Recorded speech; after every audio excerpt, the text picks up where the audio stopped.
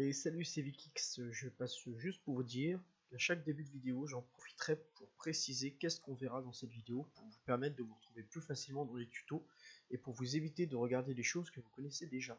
Et l'épisode d'aujourd'hui traitera des onglets secondaires. Bon visionnage. Et voici l'interface principale du jeu. On peut y voir le nom des pays.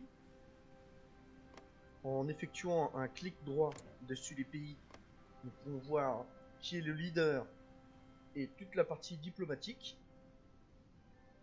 ainsi que plusieurs options que je vous expliquerai tout à l'heure. Alors, pour faire simple, on va faire à chaque fois coin par coin pour vous expliquer de façon simple et rapide pour éviter que ce tuto dure 3h30. Tout en haut à droite, vous pouvez voir la vitesse du jeu qui se joue en 5 vitesses. En dessous, le gestionnaire de musique. Ensuite, vous avez l'interface de l'armée de terre qui vous, permet, qui vous permet en un coup d'œil de voir tous les bonus et malus que vous pourriez avoir et vos niveaux d'organisation liés, euh, bah, liés à voilà, attaque de nuit, euh, vitesse de division, ainsi que combien de, de divisions vous avez de chaque. Ça vous permet de faire un petit récupérateur rapide. Vous avez aussi accès grâce à ce bouton ici au détail du matériel qui vous permet de savoir si toutes vos unités sont remplies de soldats et surtout si votre ravitaillement est bon pour la dite armée. Donc là on voit qu'on a 269 000 soldats dans l'armée et que 100% de ces 269 000 soldats sont parfaitement équipés. Donc prêts potentiellement à faire la guerre, mais bon, comme on n'a pas de stock et qu'on est en 36 on va jouer calme. Ensuite, vous avez la marine, qui est exactement la même chose, mais pour la marine, vous pouvez voir où sont stationnés vos bateaux. Vous pouvez aussi les sélectionner, et ça je vous montre très bien, vous en faites pas, pour regrouper facilement vos bateaux. Vous avez du coup euh, les, les, navires perdus et les navires coulés, qui s'afficheront une fois qu'il y aura des batailles navales. Et encore une fois, le détail du matériel, qui vous permet de savoir exactement que quoi, plus euh, le nombre de Marines que vous avez dans votre armée? Ensuite, la petite dernière, bah, vous vous doutez, c'est la même chose, mais pour l'armée de, euh, l'air, avec encore une fois les bonus et malus. Et les détails du matériel, c'est toujours la même chose. Une fois qu'on en a compris un, on a compris les jours, il faut juste se dire que c'est pour la marine et pour l'air ou pour la terre. C'est tout simple, hein, faut pas se prendre la tête. Ensuite, à côté, bon, voilà le petit truc le petit euh, truc à succès. La tension mondiale qui est importante, puisqu'il faut bien prendre compte que dans ce jeu, euh, on peut déclarer la on peut faire ce qu'on veut dans le jeu, mais au bout d'un moment, au bout de 20% de tension mondiale, euh, les grandes puissances empêcheront des communistes ou même d'autres puissances d'attaquer des petits pays qui n'ont rien demandé, et ils les, ils les garantiront. Donc au-delà de 20%. Avant, vous pouvez faire ce que vous voulez pouvez attaquer n'importe qui, il n'y a pas de problème. Ensuite, on va faire maintenant ce petit coin là. C'est assez simple. Ça, c'est trop petit truc. C'est ce truc, c'est les gestionnaires de cartes. Donc la première carte dit de par défaut, c'est un excellent nom pour elle, vous permet bah, de voir la carte qu'on voit depuis tout à l'heure. Ensuite, vous avez, c'est la carte stratégique terrestre, pour faire simple. Ensuite, vous avez la carte stratégique maritime, qui vous permet de voir les zones stratégiques maritimes. Donc quand vous déploierez des bateaux, il faut, vous pouvez très bien décider qu'elles qu'elle jouent par exemple juste dedans la Baltique inférieure, ou alors vous pourrez prendre en compte qu'elles défendent euh, toute, la, toute la mer Baltique.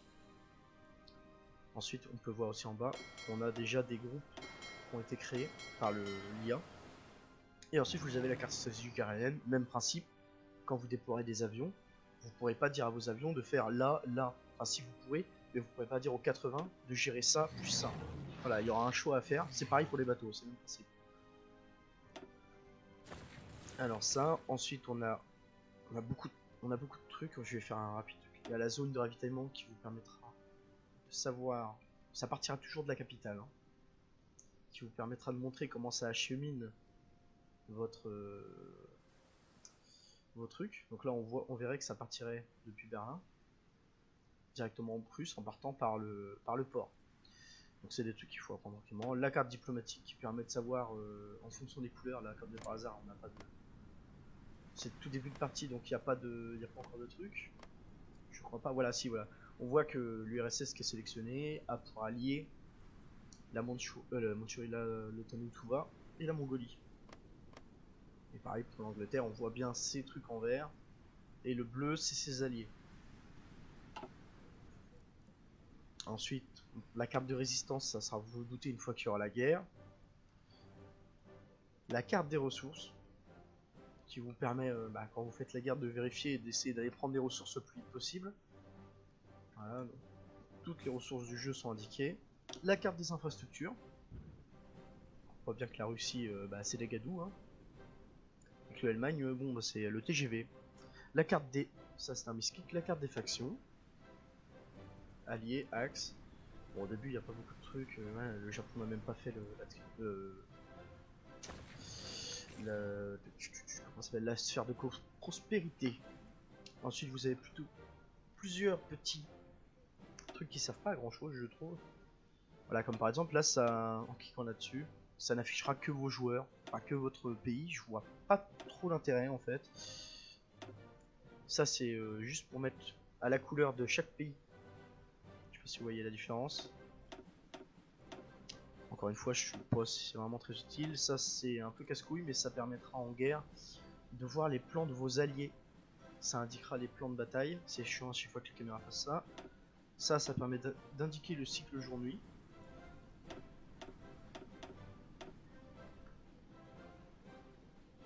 Le brouillard de guerre. Voilà, vous c'est peut-être de petites fumées. Moi, je l'ai tout le temps, donc c'est pour ça que je. D'ailleurs, pour une fois, je vais l'enlever. Et afficher les radars. Bon, là, on voit pas de radar, mais les Anglais en ont. Euh, bref. Excusez-moi, je dis vague. Maintenant, on va partir sur de, l'important. Tout en haut, à gauche, on peut voir notre drapeau, mais on en parlera plus tard parce que c'est une grande partie. On a le poids politique. Le poids politique, ça sert à faire énormément de choses.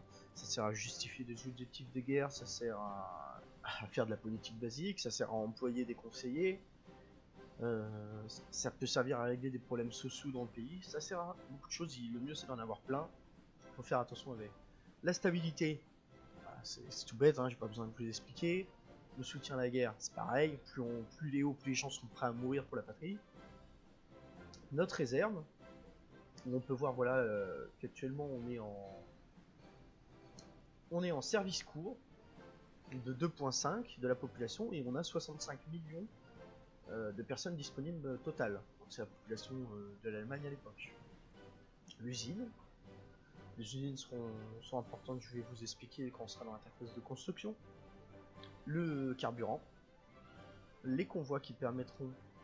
Dans le carburant, je n'ai pas besoin de vous expliquer à quoi ça sert les convois qui permettront euh, d'acheminer les ressources euh, stratégiques comme euh, les matériaux quand vous commercez, mais aussi le déplacement de vos unités quand vous leur ferez traverser la mer, et aussi le fait de pouvoir les ravitailler. Si vous avez une armée qui, se trouve par exemple en Norvège, mais qu'on n'a pas pris le Danemark, enfin qu'on n'a pas une route, les, les ressources stratégiques pour les alimenter seront obligées de passer par mer. On a ensuite la puissance de commandement, pour faire simple, permet d'augmenter les, les grades de vos généraux, mais aussi euh, de déclencher des, des attaques spéciales. En gros, pour faire simple, c'est plutôt ça. Ensuite, l'expérience terrestre qui va être gagnée en faisant la guerre, et qui permettra de d'améliorer euh, vos chars, euh, d'améliorer aussi. Ça permet d'améliorer, de créer des variantes de chars et ça vous permet, si vous en sacrifiez une partie, euh, d'avoir des technologies liées aux doctrines militaires plus rapidement, ou d'avoir des réductions si vous voulez. Pareil pour le naval, et pareil pour l'aviation. Ensuite, ne vous en faites pas pour les petits pop-up. Les petits pop-up ici, pour faire simple, c'est euh, des aides du jeu pour vous dire que voilà, il y a des problèmes de... liés à plein de trucs. Ça vous dit juste qu'en gros, hey, regarde, vous pouvez faire ci, vous pouvez faire ça.